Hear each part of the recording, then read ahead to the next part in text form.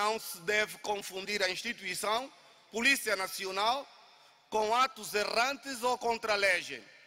A estes todos devemos respeito. Senhor Presidente, o que muito me preocupa é a tentativa de banalização das forças da ordem pública ou da segurança da Polícia Nacional. Não devemos permitir que cidadãos queiram afrontar, ultrajar ou humilhar a polícia ou o agente uh, uh, da Polícia Nacional. Temos que disciplinar, como em qualquer sociedade civilizada, educar os cidadãos a respeitarem a Polícia Nacional ou os senhores agentes, independentemente da hierarquia.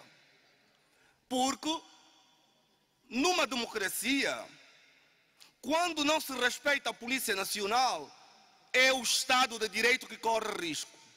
Porque a polícia é a primeira instituição que vai, está, acompanha onde ocorre o crime.